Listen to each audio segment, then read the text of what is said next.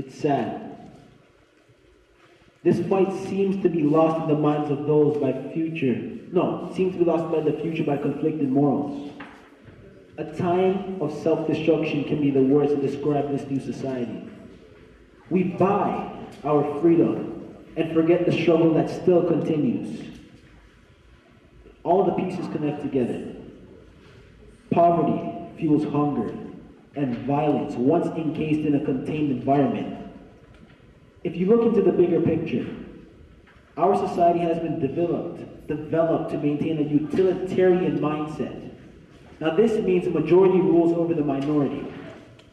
This seems like an impossible plan, but those unaware will realize flooding the ghetto with drugs, violence, weapons, and lower education standards will create oppression on another basis. Propaganda influencing racial and prejudice view inflates isolation and prevents boundaries from being broken. Misinterpreting information creates division and fuels ignorance, while the lack of assistance to resolve the problem slowly destroys the race or generation.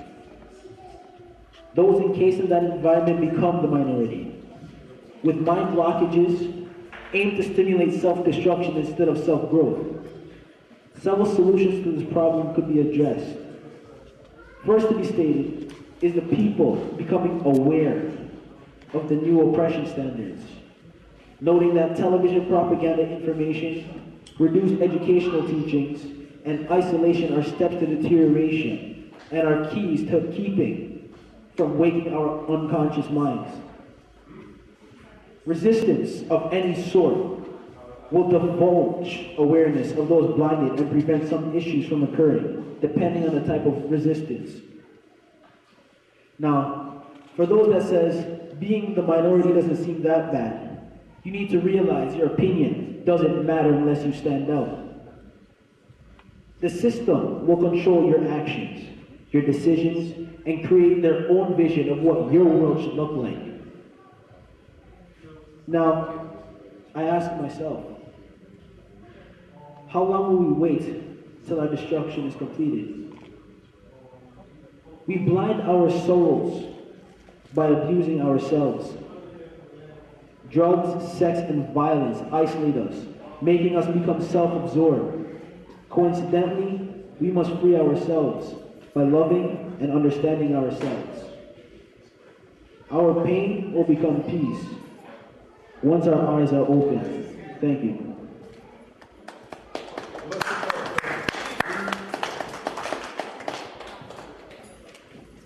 Yeah, give it up for Femi for dropping a little essay. Jah Rastafari, you know how we do. Salam, Shalom, Hotep. What's good? How y'all doing today? That's good to be here, you know. Uh, got a lot of information to cover today.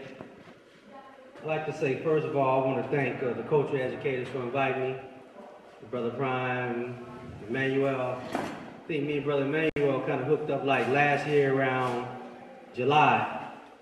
We started talking and building and talking about coming up. It's been a long time coming, so almost a year later, tomorrow be July. So about a year, about a year later, I'm here. Had some problems. I had a long trip, y'all. So man, I'm surprised I'm still up. But I drove all the way from St. Louis to here because you know how these devils are. They didn't want to give me my passport. Mm-hmm. so I drove when I got to the border. You know, they didn't want to let me in. But I had to bend the mind of the, of the, of the lady who was trying not to let me in. But, you know, I had to come through. You know, my word is my bond regardless to whom or what. So regardless if the airplane didn't come through or the car broke down or whatever the case may be, I came, yo. So I'm just happy to be here. I'm happy that y'all invited me out. I want to share a lot of stuff with y'all today. Good thing. Um, one of the first things I want to deal with is uh, uh, the law of attraction and what we're doing in the science of man, the science of woman, the science of the primordial energy that's in man and woman, how we can tap into that, what we can do. So often that we hear uh, our culture being adored, but never, rarely ever, do we do the practices of what our ancestors did. We just adore them. Like I was telling the brother uh, Sankofa, it's like if you admire your uncle, say your uncle was a mechanic, your uncle passes away. You hang a picture on the wall, you build an altar to your uncle, you say, my uncle was great. You go tell everybody about your uncle, what kind of mechanic shop he had, how many customers he had, all things he could do. He can fix your car, even if he only, only had one wheel, whatever.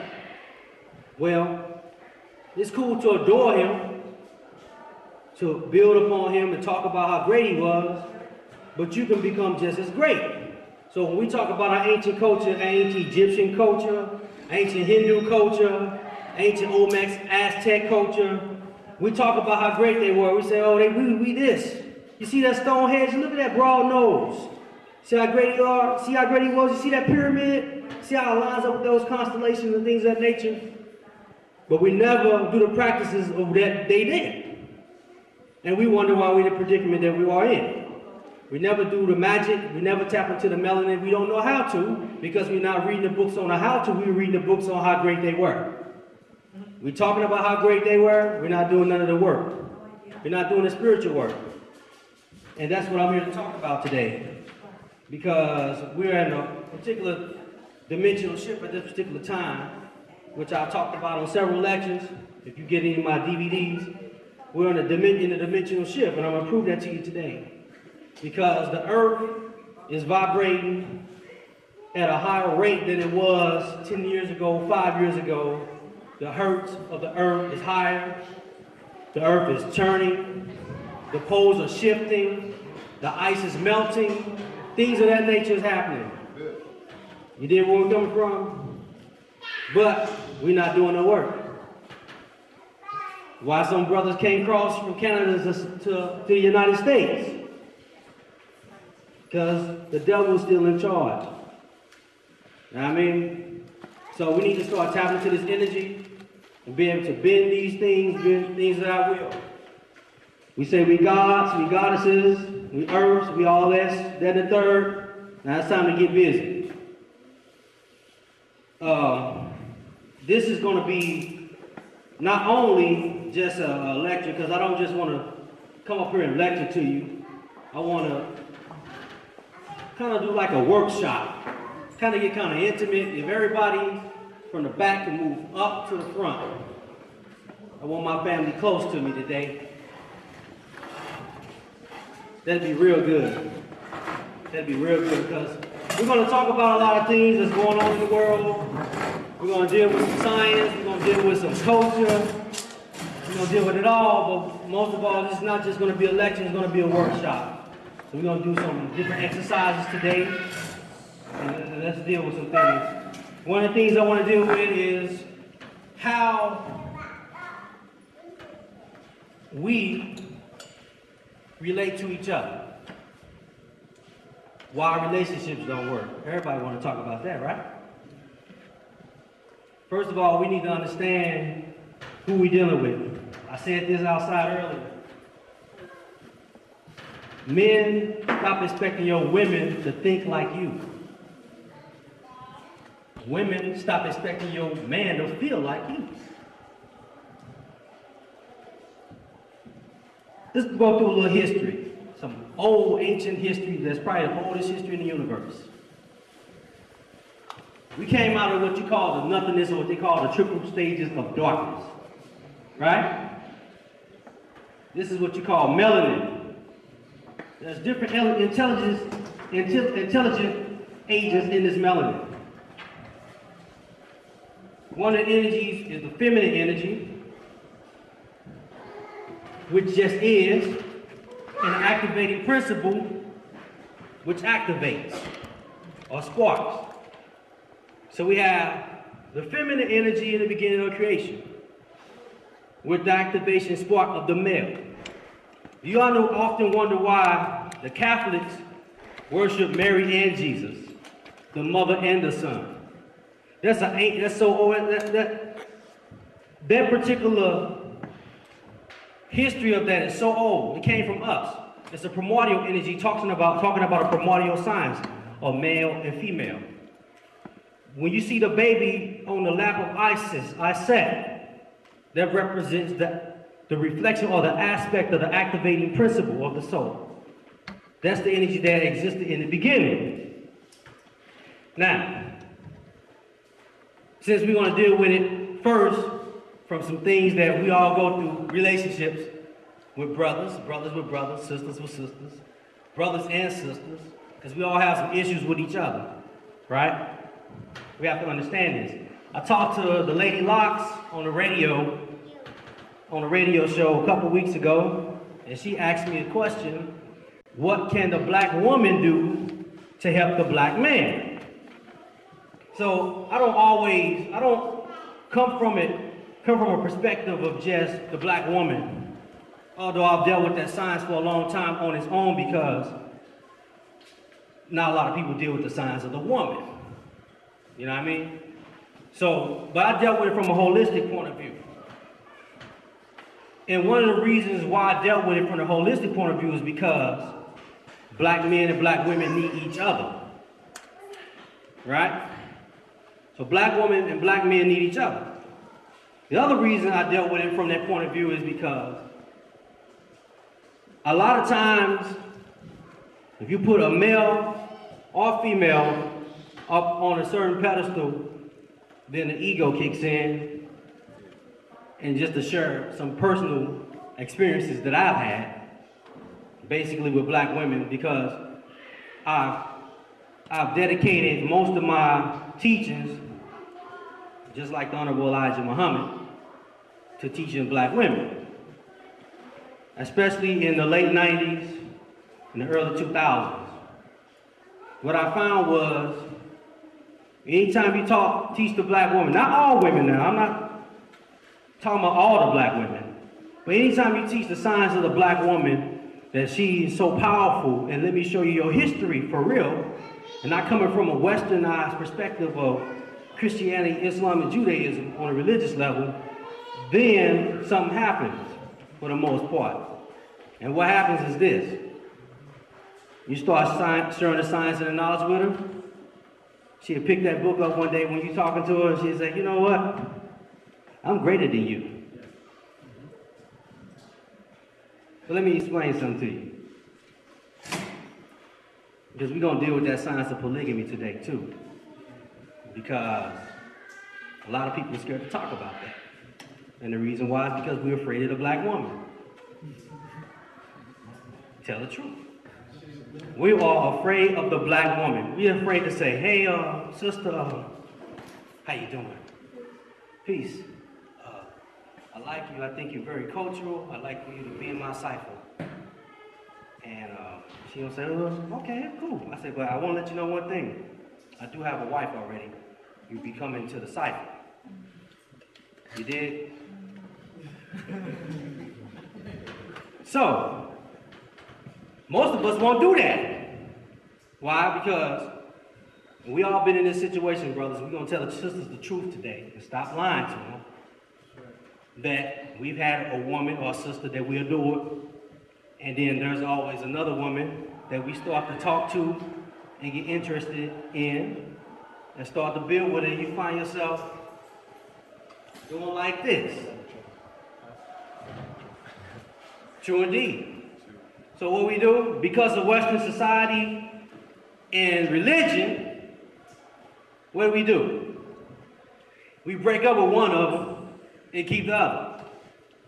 Or play the other one until you get caught up or one of them do something wrong to you you break up with. True? Am, I lying? Any brother in here that, that, that, that if I'm lying, say something right now. Okay, sisters, we're telling you the truth today. Okay? We're gonna go get into that because I got a lot of stuff to show you. I hope I got enough time, man. But we just gonna deal with some basic things first, because the practical things that goes on in life that we can cure ourselves of. Another reason why I wanted to talk about some of these things is because I've had the honor to, uh, through the years, to be able to communicate with spirits or the spirit world or multidimensional parts of ourselves. So one day, the sister in the back, that's the goddess Rhonda, me and her were talking. So I asked Rhonda, I said, Rhonda, uh, can you do me a favor? She said, yeah. I said, can you go into the spirit world and tap in and see if you can find the Honorable Elijah Muhammad? Right? She said, okay. She said, you know how it is when these spirits come, sometimes they get a little feisty and I can't really handle this. I say, I say, I don't think it's gonna be that hard. So she went in, we called up the Honorable Elijah Muhammad, y'all. And one of the reasons I wanted to call him up is because this man is very dear to me. And the reason why I say he's dear to me is because I started getting knowledge of self at around the age of 13, 14 years old.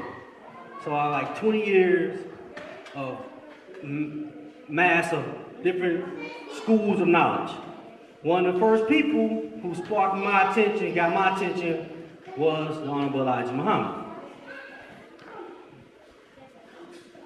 I soon moved on, but what he gave has stuck with me as a foundation of the things that I'm learning today. One of the things he said was, black man, black woman, learn all the sciences of all things in the universe.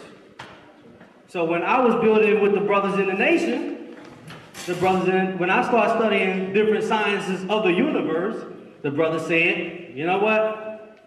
Uh-uh, you need to leave that alone. Just study the message of the black man, study how to eat to live, study woo to woo. Just study these books. Well, me, you saying I supposed to listen to Honorable Elijah Muhammad? Well, I'm gonna listen to him, and he said study all the sciences of, of life. So I started studying. So I, of course, want to get in contact with him. Now, some people think that the Honorable Elijah Muhammad is alive on a spaceship somewhere. That he died and, oh, he didn't die. He never died and he's alive on a spaceship. Well, me being who I am, I always tend to step on people's toes because when shit irks me, I gotta tell the truth. The Honorable Elijah Muhammad died, passed away. He's in the essence, and his spirit is in us. So when I asked Rhonda to tap into the, the Honorable Elijah Muhammad one night, the Honorable Elijah Muhammad came through. Boy, I was happy. Like, damn. It's just like your grandfather that you never seen, but you learn so much from them. You know what I mean? So I got a chance to, you know, I was like, well, I don't know what I'm gonna say to him, you know? It's like one of them things when it happens, like, you know, you want it to happen, but you don't know what to do when it happens. So what am I gonna say to him? So I said, oh, okay, oh, oh. Uh, tell me where you are. Just ask, just ask, just a hypothetical question. Where, where are you? I'm in the, the realm of the spirit. The realm where everybody goes when they die. That's where I am. I said, okay, cool, okay. This is the key thing I asked him. I say, why did you come to black people? He said, I came to black people because black people need a healing. I said, hmm, that was enough for me. He didn't say, well, I don't know the science of us being God and all that stuff, but he said, my main purpose for coming to black people is because black people need a healing. So, in my time frame of doing lectures, traveling, running businesses, and all kind of stuff, the guy said I got like eight arms, Rudra with eight arms or whatever. So I'm doing a lot of things. A lot of things start to transform. If you notice, uh, if you look at one of my DVDs, the next one, you ain't, it's not going to be the same. It's going to be something different about it because I'm in the constant growth. So the people in Toronto, don't call me back here next week to do a lecture because I have some growing to do.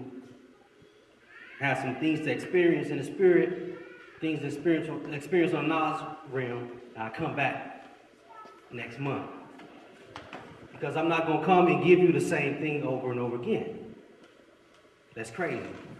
I will refer you to some information that I already did. Get that DVD. You wanna know about that? Get that DVD. I might mention some of these things. So in the process of my growth through these months of business and studying and just experiencing things, one brother in North Carolina asked me, he said, man, Rudra, man, you know, you, you seem to be very powerful, man. I really like your work, man. Uh, what do you do all day, man? You know, I say, shit, man, uh, I experience being God. Even if that's eating a hamburger, that's my experience. No matter what that is. It's no big deal now. We know the gods and earths, as gods, we first start building on the science and the knowledge, we got the lessons, we build it, we constantly spitting them jewels out. You know what I'm saying? But a lot of times we don't get a chance to internalize these things spiritually. So it becomes lower level energy. That's why the Father said that 120 is the foundation. You did? So, another shout out I want to give to Father Allah, the Father, because when I stopped dealing with the brethren and sisters in the nation, I knew where to go. I knew that I could be free to express myself and learn more, and nobody wasn't gonna judge me. Then start building with the gods and earth. Then these niggas got religious on me. Same shit. Got religious on me. You know it, because you know some gods that get religious on you. Chundi God, Chundi God, people out of TV land, true Chundi God, God is earth, Chundi. Why? Because they say this. What's your foundation? This is what I'm gonna tell you my foundation is. Oops. My foundation is Christianity. Why? Because I experienced my first experience of spirituality in that first. That's my foundation. So, when I did decide to go into the rituals and spirituality, it felt so familiar that when I did feel it, I was able to embrace it and not shut it down. So that was my first foundation. But then it gets even deeper than that. My foundation in reality is the universe itself. Because I was there in the beginning, before there was a beginning. So, we dealing with a few mundane things that's going to get a little spiritual. Talk about the chakra system a little bit here and how it relates to our growth and people as us as people. Not just growth, but certain things that we have blockages in. You gotta get a shot of that, bro. Because, believe it or not, the system of the chakras has the biggest part to play, play in your spiritual development. In your spiritual development. Most people are functioning on the these three levels, the lower chakras of the spleen, the navel chakra, and the base chakra. You ever wonder why brothers in the hood is always riding down the street booming and shit? Because they're functioning on the base level. Basically. Pretty good. Let me explain something to you. Good. When hip hop There I go talking about hip hop again. This is Black Dot shit, but I can't help it because it's my first love in music, hip hop. In hip hop, most of hip hop in the beginning, although we had some knowledge and some consciousness, it was still on the base level. And the reason why that is because one thing we had was a drum beat. Basically a drum machine. So we had, let's, okay, last night I'm listening to Eric B. and Rakim check out my melody. Or was it this morning? I don't know. I get my days mixed up because I've been driving all night. check out my melody. That's the shit, right? Listen to Rakim, check out my melody. The beat is bang, it's basically just a beat with Eric B scratching over it. And Rakim, if it wasn't for that right there, I wouldn't listen to that song. Although the beat is banging. That's why I can listen to Prime. Commercial rappers wasting time. That's why I can listen to the brother Prime. If you haven't heard his, his music, man, you need to get it. But we are functioning on this level. And let me explain to you what happens to us at an early age in childhood when we functioning on this level. What happens is this. We all are going to go through some type of traumatic experience between the ages of 0 and 15. Let me show you what happens. Spiritually, you start to develop, supposedly, these chakras start to develop. Try to anyway.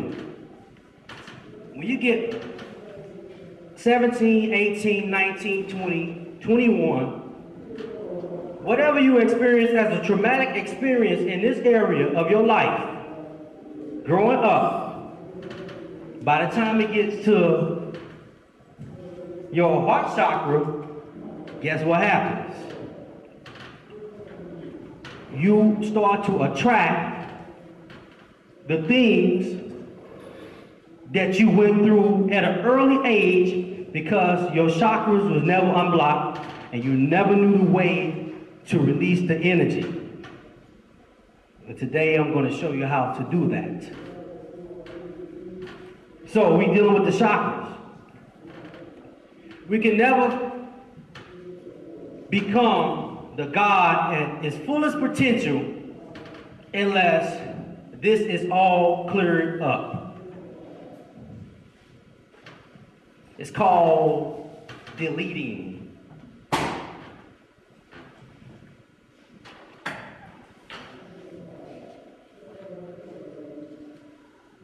One of the things in time that I, I've learned to do and take practices is a, a science called EFT. It's called Emotional Freedom Technique. Now, we all have something that happened to us when we was five, six, seven, eight, nine, ten years old. That affected us traumatically, even if it was the little boy across the other side of the room in the class calling you ugly. Now, as small and simple as that may seem today, those things still affect us if we didn't delete it. So, me and a brother named Tahuti start studying all these different sciences. We ever have time between martial arts, bullshitting around, and doing some chance matches, heckers, and doing business, we decided one day that we was gonna start looking to this thing called EFT. Now he introduced it to me, and I'm so glad he did. EFT is called Emotional Freedom Technique, and a guy, a white boy named Gary Craig, kind of like popularized it. Well, we know he didn't create it because he never created the meridians. And it deals with meridians and tapping. And tapping the meridians. You know what you call a setup phrase. So for instance, you just was down the street and a lady damn near ran into you, right? You get upset. Now, about 10 minutes later, you cool off. It ain't no big deal, but it's still in you. And how you know it's still in you? Because you respond to it the same way the next time it happens. Instead of understanding it. Now, one of the things Gary Craig started teaching about the EFT, the emotional freedom technique, was tapping. He said he wanted to try to meet with this doctor to learn some techniques on how to free people, whatever, of certain emotional things and scars that happen to them.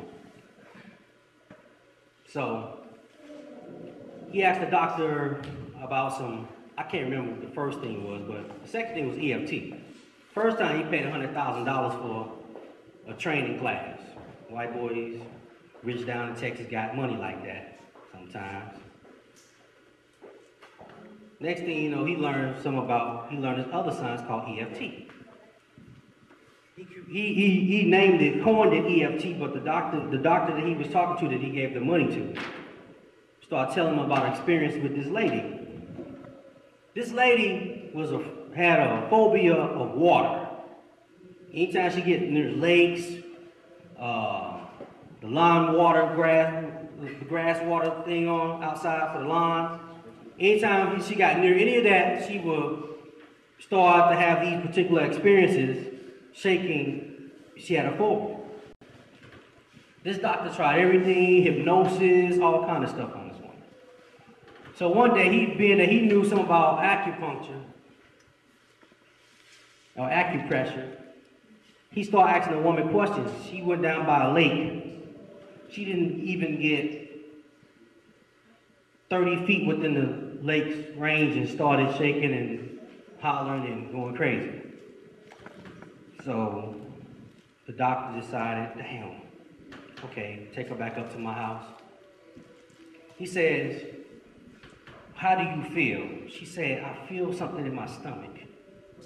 So of course, he used the pressure point of up under the eyes. Pressed down under her eyes.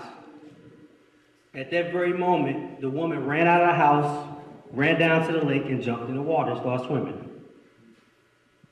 So Gary Craig decided, okay, well, I'm gonna create this thing called EFT, which he could never can create because we already had the science of acupuncture and acupressure but it's a technique that works very well. And uh, I want you all to participate with me today. You can go home and do this and relieve, relieve yourself of whatever issues that you're going through. I mean, one time, I got upset. I was upset with my daughter's mother, and I called her so many different names, I ain't gonna even say it right now. Not to her, but when I got off the phone with her. I immediately started doing EFT. I did EFT for like five minutes, if that. Did a setup phrase, and the setup phrase goes like this. Whatever you're going through, you say, even though, can I hear you? Even though I have this problem, blah, blah, blah, whatever it is. I completely where y'all at? Hold on, I gotta like a hip hop. And deeply accept myself. While doing this, no, no, no, you ain't gotta repeat that. I did, that's cool. You start tapping on this particular point, it's called a karate chop point, it's a meridian right here. So you're saying, even though, can I hear you? Even though. I have blah, blah, blah. I completely and deeply accept myself. You said three times, and you this three times. That's a setup phrase because the polarity of your mind and your ego don't want to accept when you're wrong.